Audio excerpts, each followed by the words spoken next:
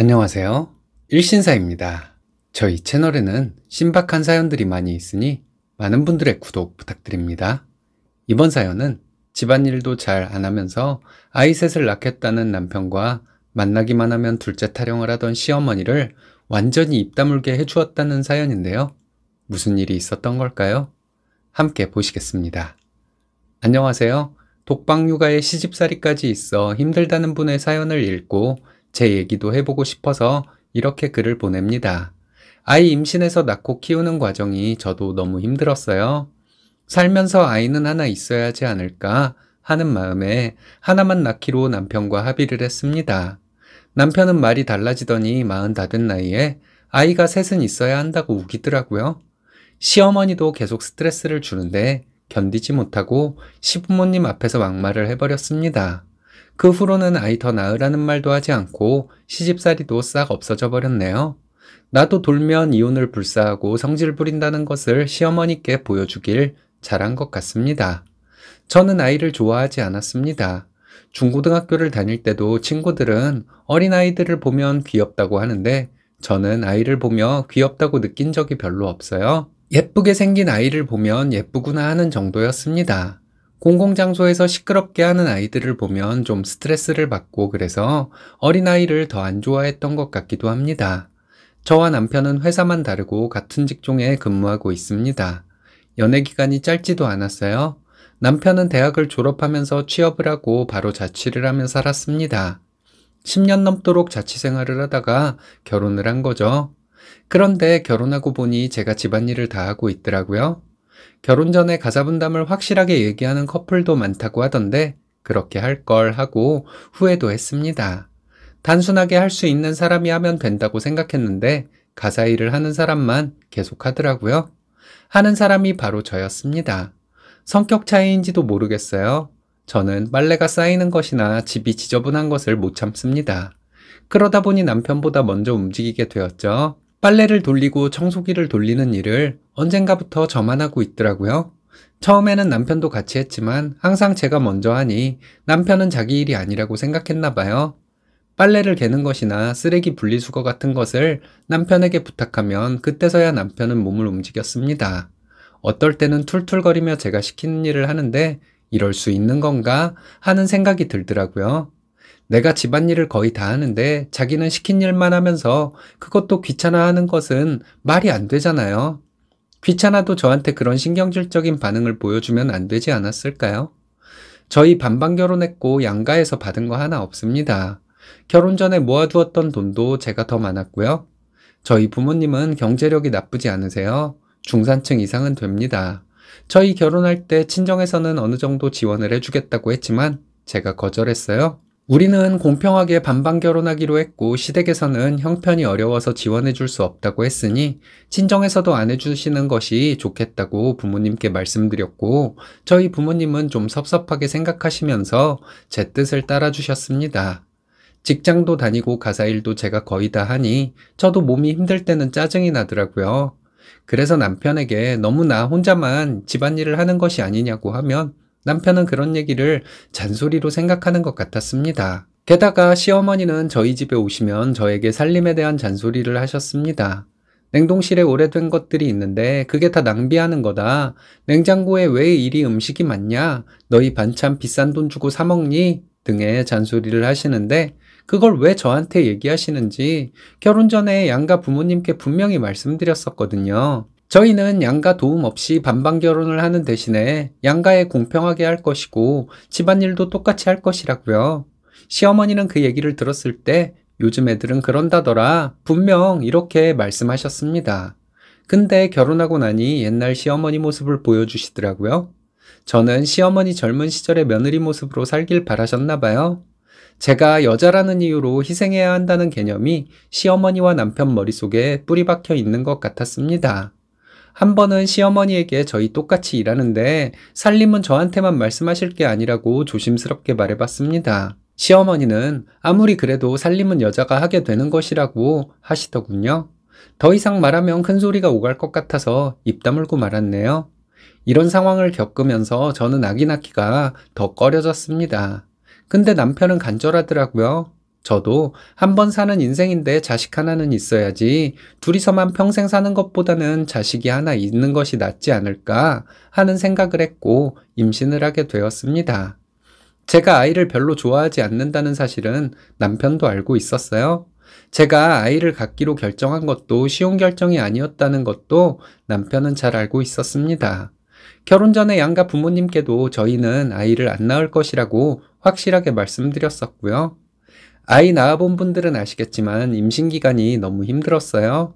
임신 초기에는 입덧 때문에 엄청 고생했고, 임신 막달에는 몸 움직이는 것 자체가 힘들었습니다. 누워 있어도 힘들더라고요. 막달에는 배가 뭉치고 땡기는 것이 빈번해지고 심하면 밑이 저릿하다가 빠질 것 같은 느낌도 있었습니다. 병원 가서 검사해 보니 다행히 이상은 없었어요.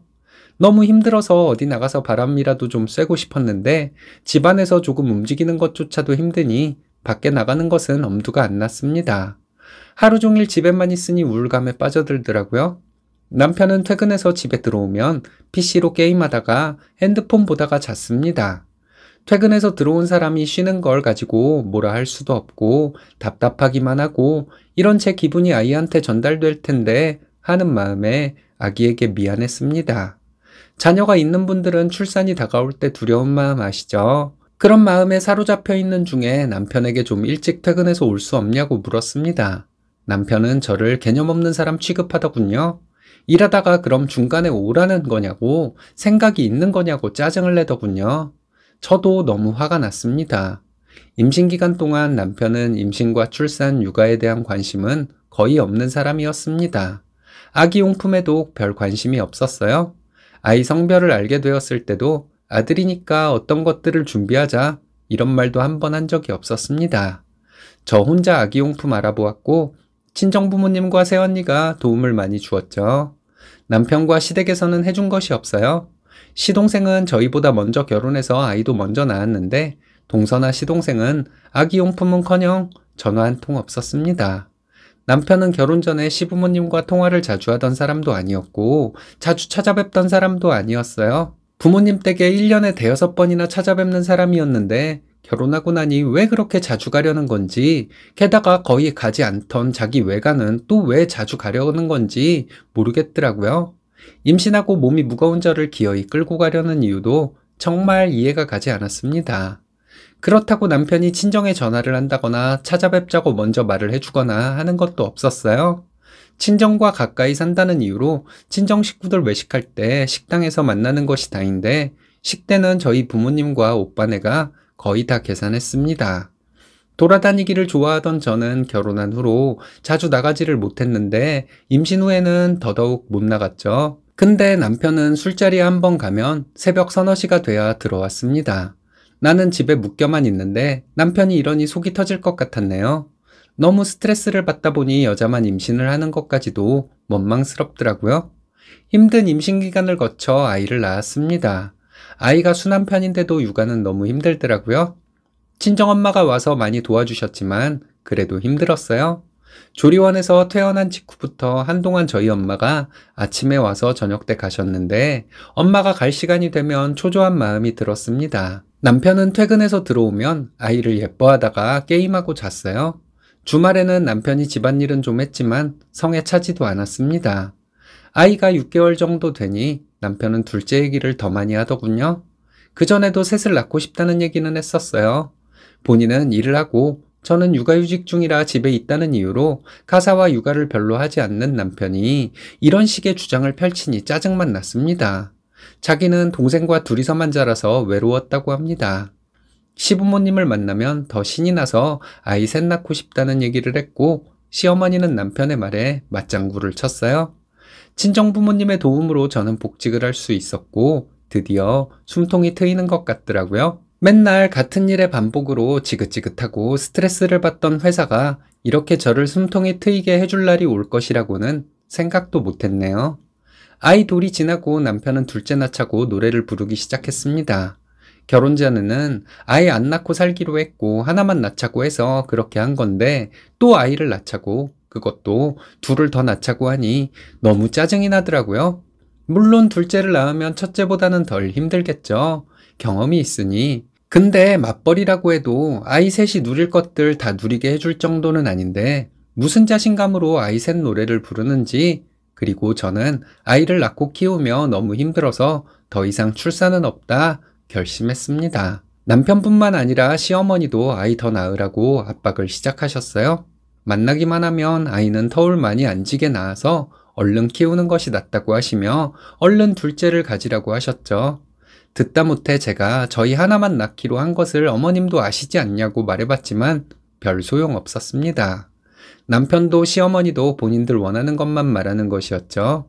둘째를 갖는다는 것은 정말 상상도 하기 싫었는데 시어머니와 남편이 하는 둘째 타령을 계속 듣자니 너무 스트레스를 받아서 안 되겠더라고요.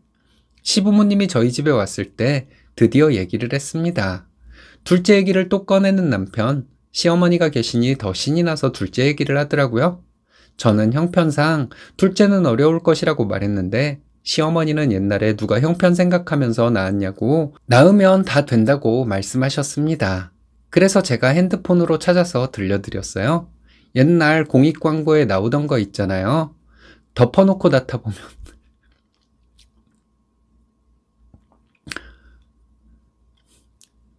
덮어놓고 나타보면 거짓골을 못 면한다. 이거 들려드리고 시어머니께 말씀드렸습니다. 오죽했으면 이런 광고가 TV에서 나왔겠냐고요. 지금 둘이 벌어서 아이 하나 키우며 집 대출금 갚아나가는 것도 빠듯한데 둘째는 말도 안 된다고 했습니다. 내가 너무 힘들어서 둘째 생각이 없기도 하지만 경제적으로 어머님이 책임져 주실 거 아니면 강요하지 마시라고 했어요. 그리고 지금 아이 키우는 것도 남편은 별로 같이 하지 않는다고 말씀드렸어요. 자기는 아이 예뻐만 하고 제가 다 키우는데 남편은 너무 양심 없는 것이라고 했습니다. 시어머니는 또 본인 주장을 하시는데 말 끊어먹고 저 일 그만두고 아이 키우면서 집안일만 하게 어머님이 지원해 주실 거 아니면 둘째 얘기 꺼내지 마세요. 이렇게 말씀드렸습니다. 시어머니는 너희 친정에서도 똑같이 얘기하냐고 하시더군요. 저희 부모님은 둘째 얘기 안 하신다고 저희가 알아서 하게 그냥 두신다고 했죠. 앞으로는 남편이 집안일과 아이 돌보는 일을 저보다 더 많이 해야 할 것이라고 했습니다. 이혼하면 이혼했지 이대로는 너무 힘들어서 못 살겠다고 말했더니 이혼이라는 말에 시어머니는 엄청 당황하신 것 같더라고요. 근데 제 솔직한 심정이었어요. 시어머니는 그 후로 둘째 타령은 아주 가끔만 하셨습니다. 다음 날부터 남편은 집안일을 잘해 주었습니다. 밥 먹고 나서 설거지는 물론이고 퇴근 후에 저에게 뭐 하면 되냐고 물어가면서 청소랑 빨래도 했어요. 집 정리도 잘 해놓더라고요. 저는 아이 씻기는 일만 했어요. 집안일 다 하고 나면 남편이 아이와 놀아주고 재웠습니다.